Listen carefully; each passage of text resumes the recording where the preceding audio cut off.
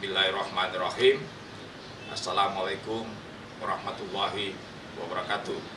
Saya Hamka Nur, pejabat Gubernur Gorontalo, dengan ini mengucapkan selamat bertanding di Piala Gubernur bagi atlet e-sport. Pesan saya, tingkatkan terus prestasinya dan jangan lupa junjung tinggi sportivitasnya. Terima kasih. Bila taufiq wal. Assalamualaikum warahmatullahi wabarakatuh.